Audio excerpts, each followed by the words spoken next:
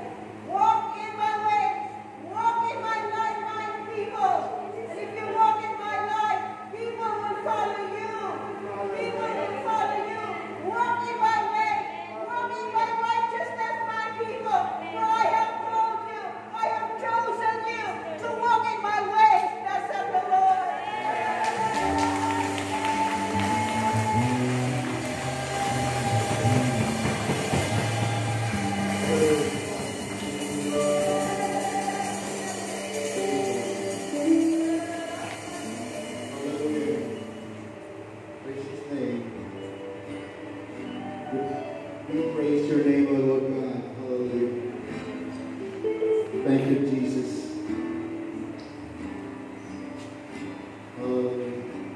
For those of you who are listening here, Facebook, for those of you who are first timers here in church or visitor, when you come next week to receive the Lord Jesus Christ. You know, this church is not a perfect church, but we believe that God is molding us so that we will be able to help people to come to Him.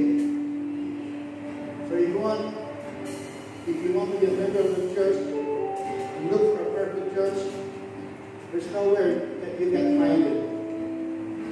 Because we're not looking for a church, we're looking for salvation. A church will only be used by God, just like ours. Because people are not perfect. People who are who need to be molded, to be uh, strong in their motives, in their way of thinking or way of uh, facing problems, and learning to be servants, so that we will be able to help you. Most of all, it is not the church, it is Jesus. Lord Jesus. If you will accept Him as Lord and Savior,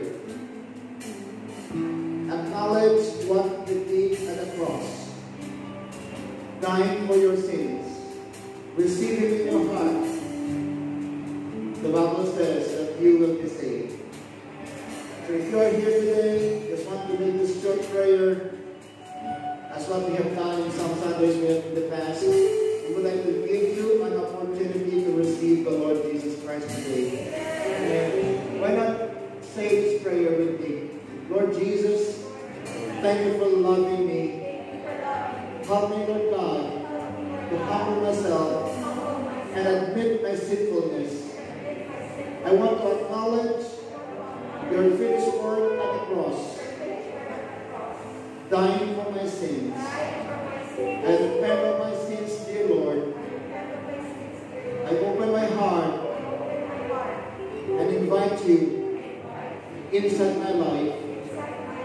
be the Lord and the Savior of my life. By faith, I receive salvation, eternal life with you. And Lord God, thank you for a church like this. Though they are imperfect, Lord, but you are the perfect God who called them to help me grow